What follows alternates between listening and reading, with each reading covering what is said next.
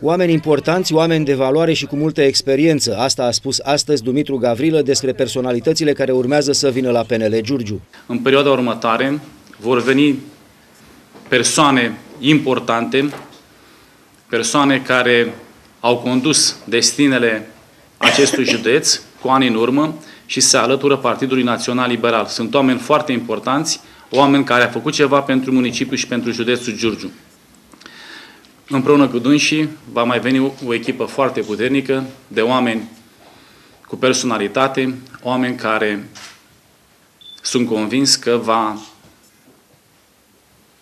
face ceva ca județul Giurgiu să se dezvolte. Dumitru Beanu este candidatul PNL la președinția Consiliului Județean, a reconfirmat astăzi Dumitru Gavrilă. El a întrebat totodată de ce alte partide nu își anunță candidații. Încă o dată afirm și cu mare responsabilitate, candidatul Partidului Național Liberal la funcția de președinte al Consiliului Județean Giurgiu este domnul Beanu Dumitru. Să nu se mai facă speculații în presă că va fi nu știu cine. Domnul Beanu Dumitru va fi candidatul nostru.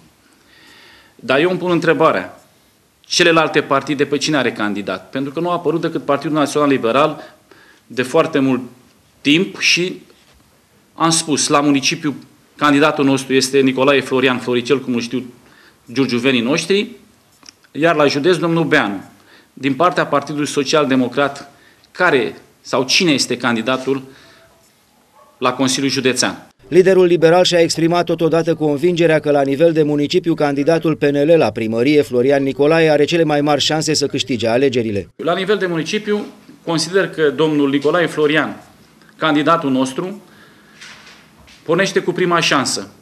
Pornește cu prima șansă pentru că este un om echilibrat, un om iubit de către locuitorii din municipiul Giurgiu, un om care a demonstrat atâta timp, pentru că dânsul știți cu toții că vine din domeniul privat, a demonstrat prin ceea ce a făcut, creând foarte multe locuri de muncă atât în municipiul Giurgiu cât și în județul Giurgiu, în perioada cât a fost și este deputat în această perioadă de patru ani, este unul dintre uh, parlamentarii noștri de Giurgiu foarte activi. M-aș bucura foarte mult ca locuitorii din municipiul Giurgiu să înțeleagă ca noi, locuitorii care locuim aici, să putem să ne mândrim că trăim în municipiul Giurgiu. Eu pot să spun că în ultimii patru ani nu am văzut acest lucru.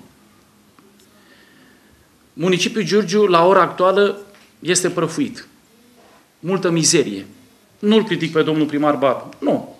Poate mă gândesc că nu leagă chiar nimic de municipiul Giurgiu, dânsul fiind din Tulcea, în comparație cu domnul Nicolae Florian Floricel, care este din Giurgiu și știm cu toții, dacă ești din Giurgiu, dintr-o localitate unde loc, și locuiești, poate te leagă ceva, pe domnul Barbu chiar nu l-a legat nimic de Giurgiu. Dumitru Gavrila a mai arătat că în cele mai multe localități din județ, candidații liberali au șanse reale pentru câștigarea alegerilor. El a mai precizat că foarte mulți giurgiuveni au optat să se înscrie în PNL în ultima perioadă.